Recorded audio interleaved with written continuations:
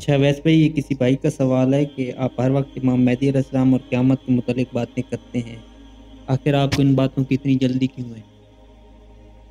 अज़बिल्लिनशैतरजीम बसमीम भाई मुझे क्या जल्दी है? जो वक्त, जो काम जब होना है, अल्लाह को जब मंजूर होगा तभी होना है, मेरी जल्दी से तो कुछ नहीं होता। लेकिन अल्लाह ताला सबको तौफीक दे के जो हक बात है वो लोगों तक पहुँचाएँ। मैं तो रिक्वेस्ट करता हूँ तमाम उलमा से स्कॉलर्स से स्पीकर्स से हर एक से कि इस बात को रियलाइज़ करें, समझें और दूसरों तक पहुँचें नबी मुकरम सल्लल्लाहु अलैहि वसल्लम की हदीस का मफहम है कि मैं अपने रब से उम्मीद करता हूँ कि वो मेरे उम्मत को आधे दिन की मोहलत तो दे ही देगा। साहबा ने पूछा यार रसूलल्लाह, आधे दिन से क्या मुराद है?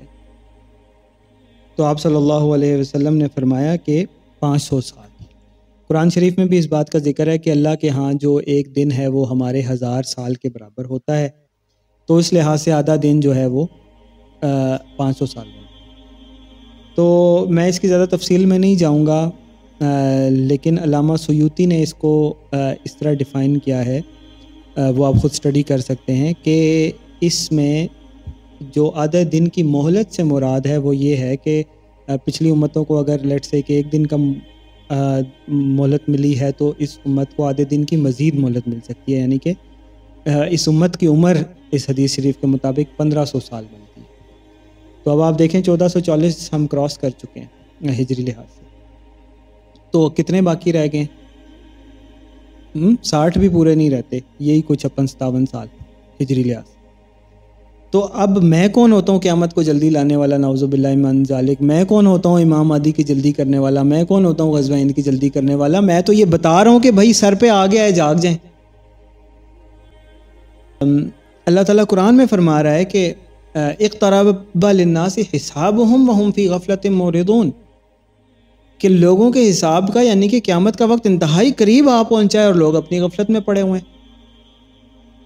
तो ये तो वक्त अहादीस से साबित है और फिर जब आप अलामत क़्यामत की दो तरह की निशानियाँ हैं, अलामत सगरा और अलामत कुबरा। तो आप स्टडी करें इनको, जो अलामत सगरा हैं, मैंने तो कहा हुआ अब आप देखें जो हमारी ये वीडियोस हैं, वो तो मिलियंस तक उनके व्यूज़ पहुँच चुके हैं, यानी कि लाखों लोग अब तो शायद करोड़ तक बात पहुँचने वाली हो, जो जिन तक ये बात पहुँच चुकी है और मैंने उनमें कहा हुआ है कि अगर किसी को कोई अलामत सगरा में से कोई मिली है कि जो पूरी ना हुई हो तो बताएँ मुझे भी मिल के स्टडी करते हैं। अभी तक तो कोई नहीं हम ढूंढ सके। लाखों लोगों में से भी अगर कोई नहीं बता सका तो फिर आप बताएँ, इसका मतलब है कि कोई इसमें शक रह जाता है कि क़्यामत के अलामत सगरा सारी की सारी पूरी हो गई हैं। और अब अलामत कुबरा का वक्त है तो फिर और कैसे जल्दी ना करें ये डॉक्टर सरार अहमद ने नाइन्टीज़ में कह दिया था कि इमाम मदी पैदा हो चुके हैं। तो इमाम महदी तो कब के अगर पैदा हो चुके, अगर नाइन्टीज़ में पैदा हुए हुए थे तो इसका मतलब है कि अब तो वो चालीस साल के भी हो चुके होंगे और कहीं ना कहीं उनका जहूर हो चुका होगा, मैं और आप सोए हुए हैं। आए अल्लाह ताला से दुआ करें कि अल्लाह ताला अहल हक से में से हमें शामिल फरमाए और इमाम महदी जहाँ कहीं पे भी हैं, अल्लाह ताला हमें उनके साथ शामिल फरमाए और उनके अवलिन साथियों में शामिल फरमाए। लोग बार बार मुझे कह रहे होते हैं, यार, जब उन्होंने जहूर होना होगा, उनका हो जाएगा, आपको क्या प्रॉब्लम है? भाई, हम मुझे ये है कि हम उनके अवलिन साथियों में से हों, जो उनकी इनिशियल स्ट्रगल है, असल साथी तो वो होते हैं, असल अजर तो वो है। जब रियासत मदीना बन गई तो फिर तो लोग आने लगे, जब फतेह मक्का हो गया, फिर तो जोक दर जोक लोग आप सल्लल्लाहु अलैहि वसल्लम के साथ शामिल होने लगे। वो अबू बकर, उमर, हंजला, खालिद बिन वलीद रज़ी अल्लाह तहुमा अली, वो सब तो नहीं बन सके ना? उस्मान रज़ी अल्लाह तहो ये तो नहीं बन सके?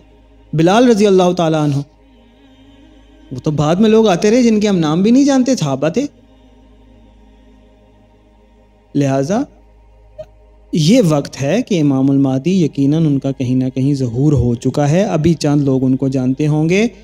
और भाई, अगर कोई आप तक मैसेज पहुँचा रहा है, शुक्र करें कि अल्लाह ताला ने अगर किसी को कोई इन्फॉर्मेशन दी है, उस तक कोई बात पहुँची है और वो इमाम मादी को पहचानने में कामयाब हो गए हैं तो भाई, आप शुक्र करें कि वो आपको आके बता रहे हैं। अपने तक एक्सक्लूसिव नहीं रख रहे इस बात को। आपको तो थैंकफुल होना चाहिए। और अल्लाह ताला के, अल्लाह ताला का शुक्र अदा करना चाहिए कि अल्लाह ताला ने ऐसे लोगों तक बात पहले पहुंचाई है कि जो दूसरों को भी उसमें शामिल कर रहे हैं एक्सक्लूसिविटी नहीं इन्जॉय कर रहे। तो यही हमारी गुजारिश है, बाकी कोई हम, कोई आसमान से नहीं उतरे हुए, आप सब की तरह ही आम मुसलमान हैं। बस ये है कि अल्लाह ताला ने जिस चीज़ की समझ अता फरमाई है, कोशिश कर रहे हैं कि आप तक भी बात पहुँच जाए। तो बाकी शायर के अल्फाज में, न समझोगे तो मिट जाओगे पाकिस्तान वालों। शायर ने तो हिंदुस्तान कहा था।